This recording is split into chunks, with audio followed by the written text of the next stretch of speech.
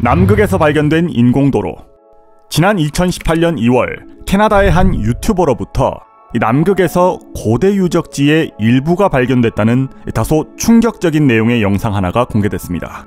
먼저 영상의 내용을 간략히 정리해보면 나는 최근 한 시청자로부터 남극의 고대 도시라는 제목의 놀라운 제보 메일 한 통을 받았다. 그는 그곳 구글 지도의 좌표를 제시하며 남극에 인공적으로 제작된 도로가 발견됐다고 말했다. 곧바로 우리 팀은 구글어스를 통해 그가 알려준 좌표로 찾아가 봤다. 위도 78도, 경도 158도. 주변에 아무것도 없는 황량한 미지의 대륙 한가운데 절반은 눈으로 덮여 있고 또 나머지 절반은 눈이 녹은 건지 지면이 드러나 있습니다. 여러분들은 이 사진을 봤을 때 가장 먼저 뭐가 보이시나요?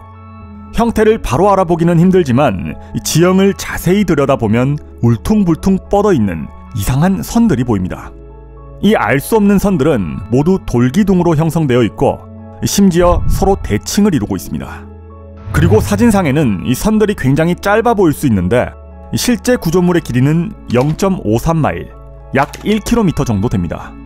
마치 현대의 도로처럼 보이는 구조물.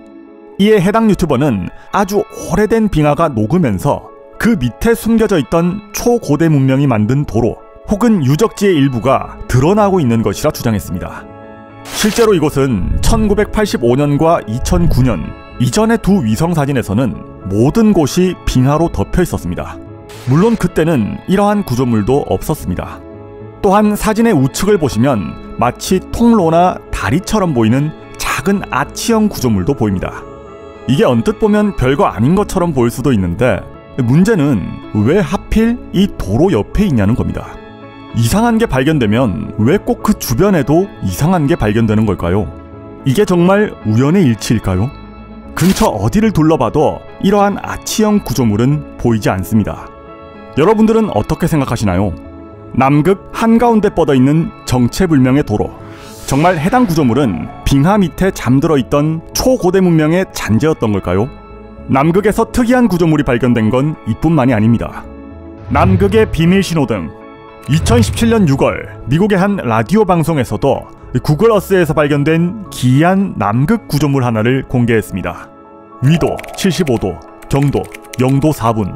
이곳에는 도저히 자연적인 형성이라고는 볼 수 없는 기묘한 구조물들이 다량으로 포착된다. 해당 구조물들은 일직선으로 약 2km가량 줄지어 있으며 총 7개의 그룹으로 각각 1개, 1개, 3개, 1개, 7개, 1개, 4개로 배치되어 있다. 그리고 해당 장소의 마지막 촬영 날짜는 2016년 11월 15일이다. 그러면 우리도 직접 해당 좌표로 찾아가서 자세히 한번 살펴보겠습니다. 정말 해당 구조물들을 제외하고는 주변에 아무것도 없습니다. 그리고 언뜻 보면 모든 물체들이 똑같이 생긴 것처럼 보이지만 배율을 높여서 보면 각 개체가 조금씩 다르다는 것을 알 수 있습니다. 큰 틀은 비슷하지만 구조물들의 크기, 굴곡, 표면의 무늬, 입구처럼 보이는 까만 반점들까지 모두 다르게 생겼습니다. 이는 단순히 하나의 물체가 복사되어 발생한 지도의 기술적 오류가 아니라는 것을 의미합니다. 또한 가장 논란이 되었던 건 바로 이 까만 반점들이었는데요. 음모론자들은 이것이 비밀 도시로 통하는 지하 벙커의 입구라고 주장했습니다. 일부 구조물에서는 붉은색과 푸른색의 알 수 없는 불빛이 관찰된다. 마치 빛으로 무언가의 사인을 주고받고 있는 신호등처럼 보인다. 만약 이게 사실이라면 이 신호는 과연 누구에게 보내는 신호일까요?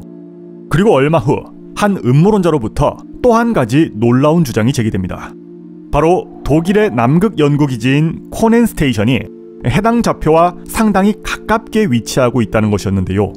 사진의 북동쪽에 보이는 검은색 직사각형 물체가 바로 독일의 연구기지입니다.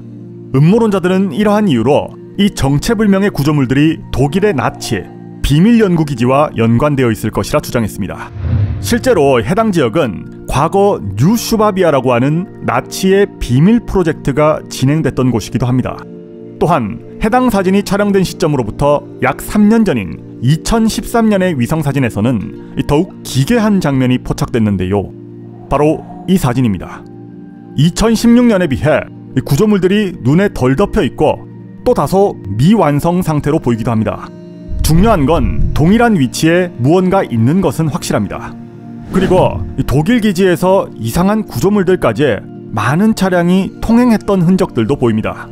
기지에서 무언가 운반이라도 했던 걸까요? 여러분들은 어떻게 생각하시나요?